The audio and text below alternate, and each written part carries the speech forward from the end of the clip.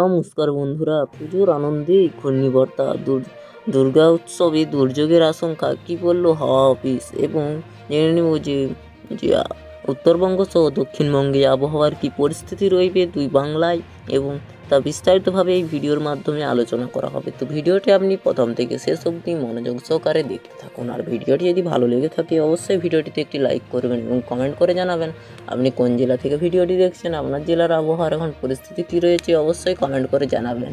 আর চ্যানেলে যদি নতুন দর্শক হন, অবশ্যই নিচে লাল কালারের সাবস্ক্রাইব বাটনটি ক্লিক করে সাবস্ক্রাইব করে নেবেন। এতে লেটেস্ট আবহাওয়ার আপডেটগুলি সবার আগে পেতে। চলুন বন্ধুরা, কি বলেছে যে পুজোর বাকি আর কয়েকদিন মণ্ডপে মণ্ডপে চলছে শেষ মুহূর্তের প্রস্তুতি। সবারই কম বেশি প্ল্যান তৈরি হয়েছে, কিন্তু সব কিছু নির্ভর করেছে আবহাওয়ার মেজাজে, মেজাজের উপরেই টানা কয়েকদিন বৃষ্টির পর অবশেষে রোদ দেখা পাওয়া গিয়েছে। আপাতত আগামী কয়েকদিন বৃষ্টির সম্ভাবনা নেই। ওইদিকে বঙ্গোপসাগরে ঘূর্ণিবর্তার সম্ভাবনা জানিয়েছে আবহাওয়া দপ্তর। পুজোর সময়ে কি দুর্যোগের আশঙ্কা রয়েছে কি জানালেন? জেনে নিন আবহাওয়া দপ্তরের সূত্রে। তো জানা গিয়েছে, আগামী কাল অর্থাৎ বৃহস্পতিবার বঙ্গোপসাগরে একটি ঘূর্ণিবর্তা তৈরি হয়ে সম্ভাবনা রয়েছে। তবে ঘূর্ণিবর্তাটি কোন দিকে অগ্রসর হবে তা এখনও স্পষ্ট নয়।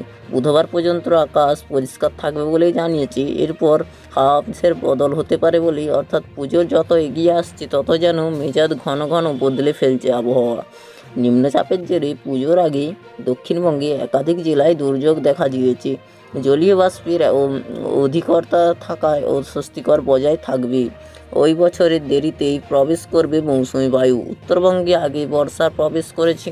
কিন্তু দক্ষিণবঙ্গে বর্ষা ঢুকেছে। প্রায় এক মাসের পর আলিপুর আবহাওয়া দপ্তর জানিয়েছে আগামী তিন চার দিন উত্তর পশ্চিম ভারতে অন্য রাজ্যে এবং গুজরাটে মধ্যপ্রদেশ এবং কিছু কিছু অংশে রাজস্থানে অধিকাংশ এলাকা থেকে বিদায় নিতে চলেছে বর্ষা।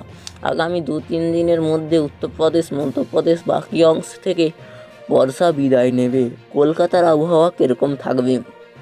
কলকাতায় কোথাও কোথাও আহ, বজ্রবিদ্যুৎ সহ বৃষ্টি হতে পারে। আগামী চব্বিশ ঘন্টায় দক্ষিণ চব্বিশ পরগনা, পূর্ব মেদিনীপুর এবং কোনো অংশে হালকা থেকে মাঝারি বৃষ্টির সম্ভাবনা রয়েছে। মঙ্গলবার দক্ষিণবঙ্গে কোনো কোনো জেলায় ভারী বৃষ্টির পূর্বাভাস দিয়েছে।